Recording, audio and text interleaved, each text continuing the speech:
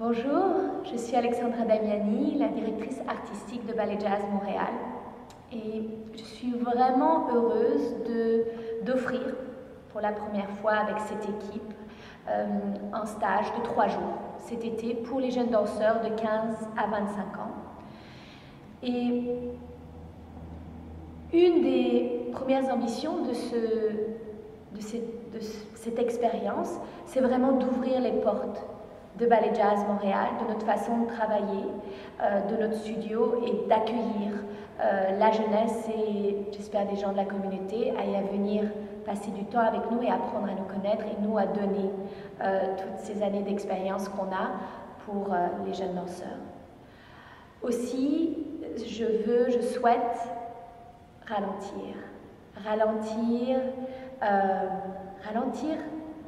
pour justement mieux apprendre et mieux se découvrir. Surtout à cet âge-là, l'adolescence ou euh, le début juste avant de rentrer dans notre carrière professionnelle,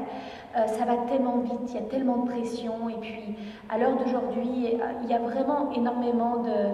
une sorte, de une, une sorte de séparation avec qui nous sommes et cette recherche de notre voie artistique, de notre centre, euh, parce qu'on est tiraillé de tous côtés, ça va très vite et les réseaux sociaux, je pense, euh, qui ont vraiment du bien sur certains côtés, ont aussi des côtés très néfastes pour justement cette, euh, exploration et cette croissance du jeune danseur dans, sa voie personnelle.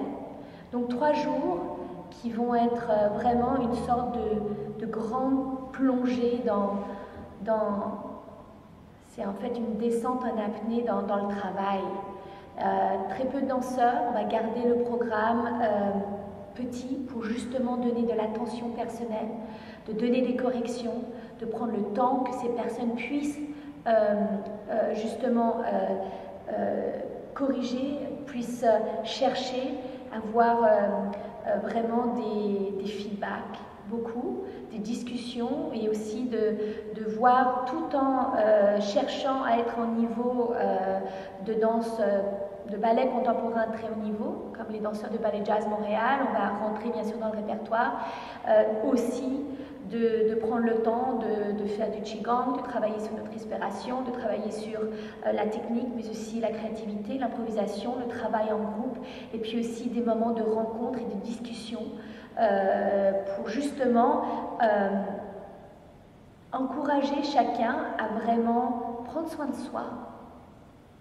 C'est pas, je dis souvent aux danseurs, ok, euh, c'est important d'avoir ton premier contrat, de rentrer dans une compagnie professionnelle, mais après, il faut garder sa place dans la compagnie, puis il faut être heureux. Donc euh, euh, le but, c'est aussi de développer des, personnes et des artistes qui ont euh, beaucoup d'outils et qui puissent avoir une longue carrière, une longue et heureuse carrière.